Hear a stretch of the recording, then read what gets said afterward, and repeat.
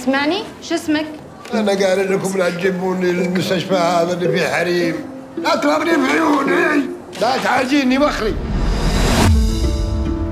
دكتورة ونفهم التحديات اللي تواجه. لكن إلى الآن ما في أي مبرر طارئ أن نخصص ميزانية لتمويل المشروع.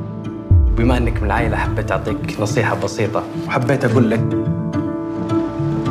السلام عليكم. طبعا أغلبكم يعرفوني زين. إذا فزت في الانتخابات راح يكون من أولى أولوياتي تعبيد هالطريق. عاد لا اوصيكم محتاج صوتكم. لا والله خاف زوجي يذبحني بس بشوف وش يقول. أبوي اليوم؟ وش بسوي؟ سمع دحين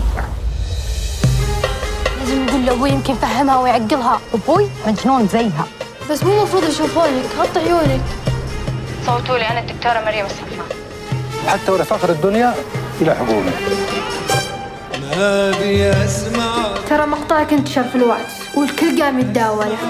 طبعا في كثير من المواضيع يعني وأنت كامرأة أكيد إنها تثير اهتمامك.